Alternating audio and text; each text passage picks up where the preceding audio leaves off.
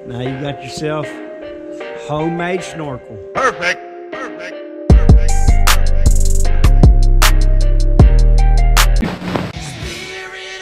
It's kind of like, I think I can. This requires a system. This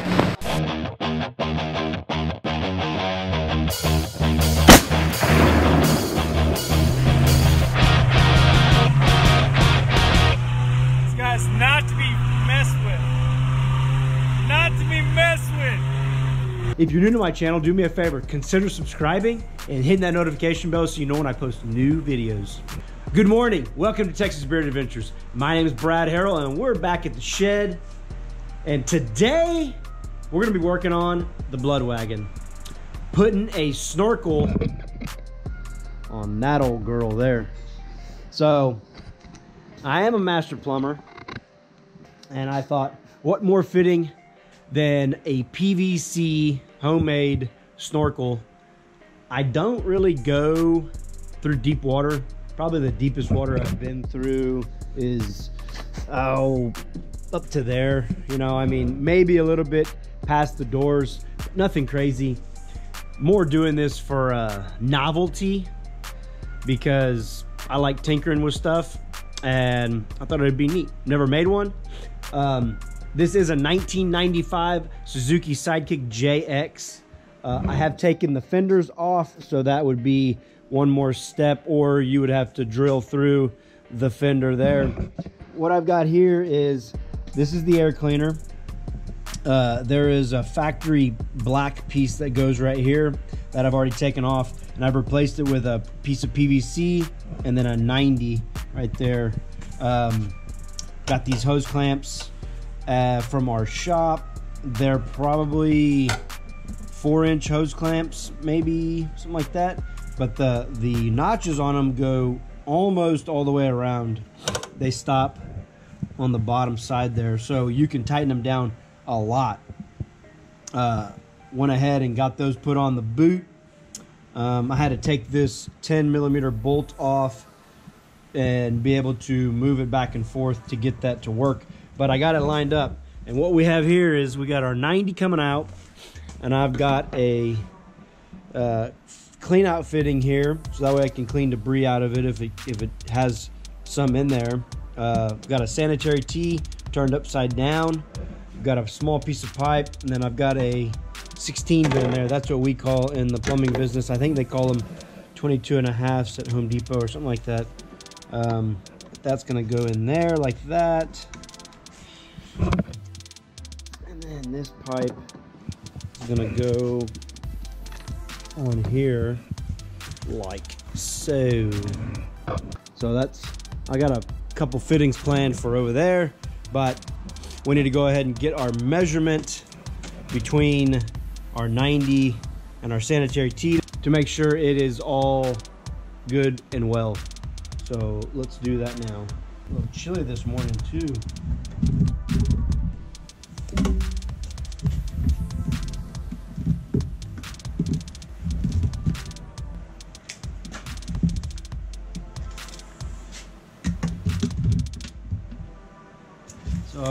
What I'm gonna do is I'm measuring from hub to hub, and then I'll, I'll I'm measuring from the end of the hub to the end of the hub, and then I'll add the distance the pipe goes in. That was an inch and a quarter. Um, so from from the 90 in here to here. You always want to make sure that you use primer when you're gluing stuff if you want it to stick. A lot of misconce- misconceptions are that you don't have to use primer to make things stick when gluing PVC together. And that just ain't true, folks. PVC starts the chemical bond, softens the pipe, cleans the pipe. Without it, PVC will not it'll it'll go together, but it won't stay together. Always want to give it about a quarter turn. Get all that glue nice and even on there.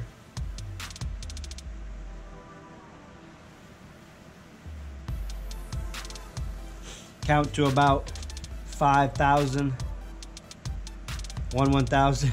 uh, what I mean by that is don't count to 5,000, count by thousands to five. One 1,000, two 1,000, three 1,000, four 1,000, five. Just want to make sure that's clear.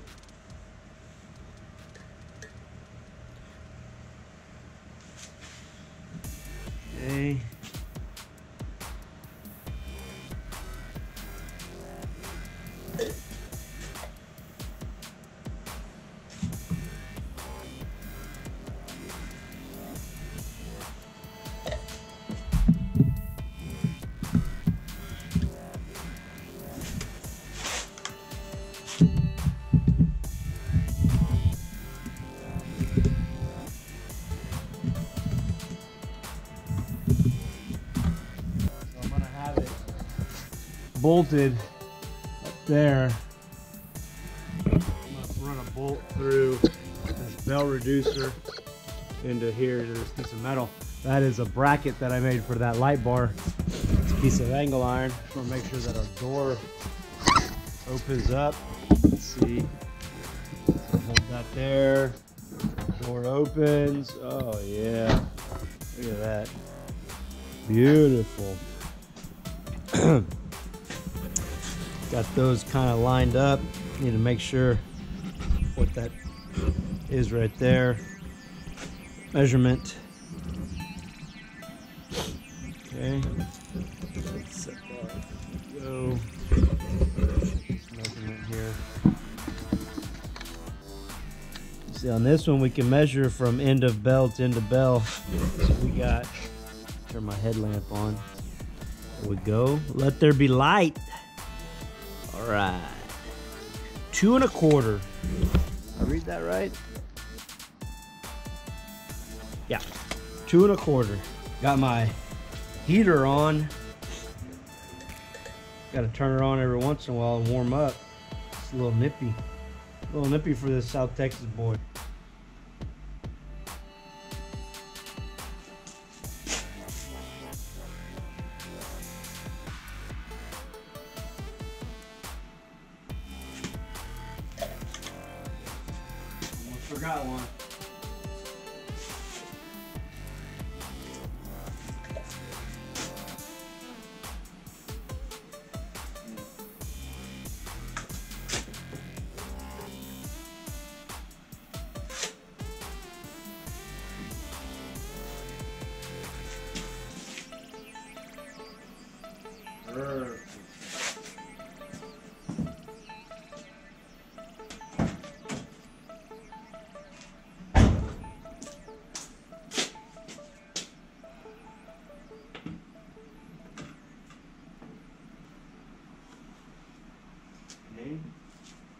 There we go.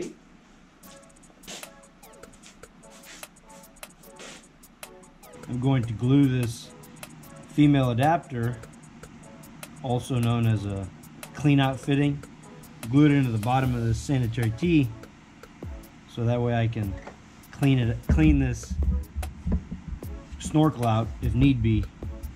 Probably put some pipe dope on the threads on that plug to be able to so it's watertight and I don't have to worry about it uh, sucking in air or water through there.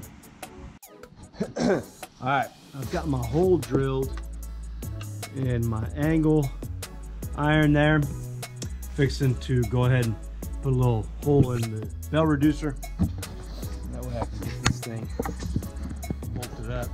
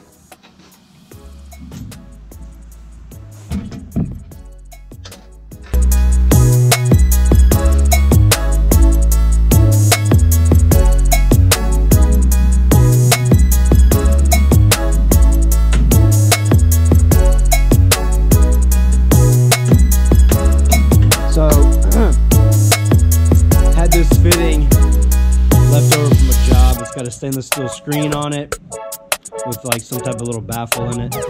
Uh, it is on a 45, a regular 45, and I'm gonna glue that up to a street sweep and a street 45 there. Put a little piece in between here. I'm gonna have to get hit the grinder on that piece let see what this is.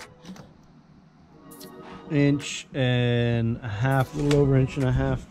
All right, so got my my screen 45 with the 90. and That went ahead and put the notch in there. That's for the bolt head inside of the reducer. Let's see how it fits here. Look at that.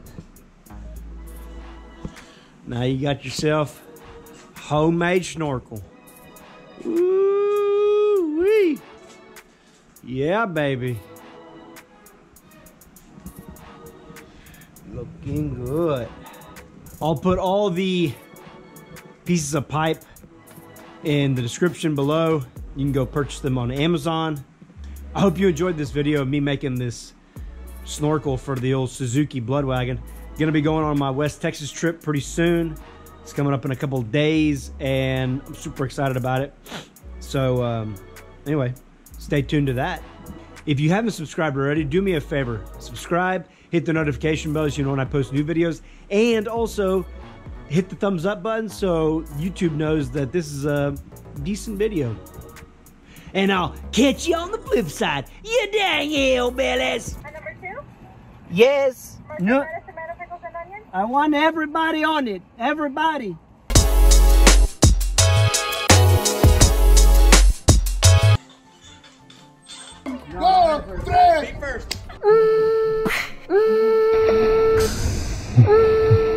Now,